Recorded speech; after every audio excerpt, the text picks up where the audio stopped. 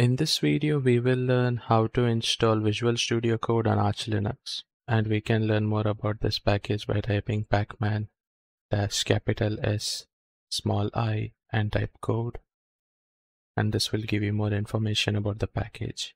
And then type sudo pacman dash capital S code and enter our password.